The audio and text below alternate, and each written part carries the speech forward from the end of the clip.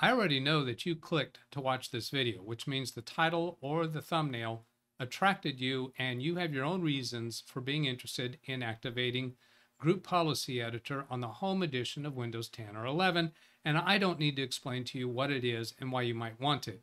So I'm not going to read these slides to you. This first slide gives you some background information. This slide gives some reasons why you might be interested in using it, and this slide gives some reasons why I have used it. You can pause the video to read each of those slides if you're interested. Let's get right to it. This is the 24H2 version of Windows 11 Home. I'll press Windows key R, type gpedit.msc to demonstrate that it is not working on this computer at this time. Then click OK to dismiss that.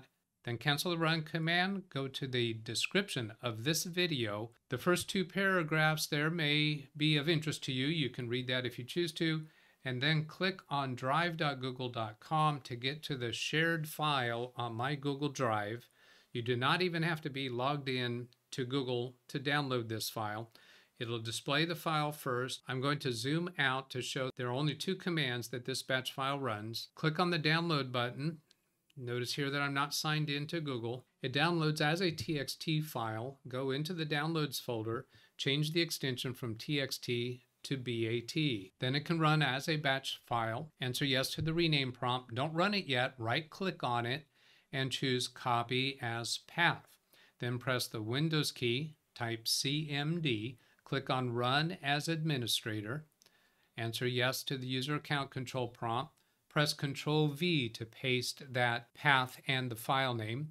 Press Enter. Here I have speeded up the process. It takes about two minutes and five seconds. You'll see some pauses that occur. Just wait for it. It should finish. Type the word exit. Press Enter to close the command prompt. Close down the windows that you have open. Then press Windows key R, type gpedit.msc, and press Enter. And there is Group Policy Editor on a Windows Home edition of Windows 11. If you like these short, get to the point videos, please do not subscribe to my channel because I don't do these very often. Most of my videos are live streams about six times a week where we help people with their actual computer issues that they're having.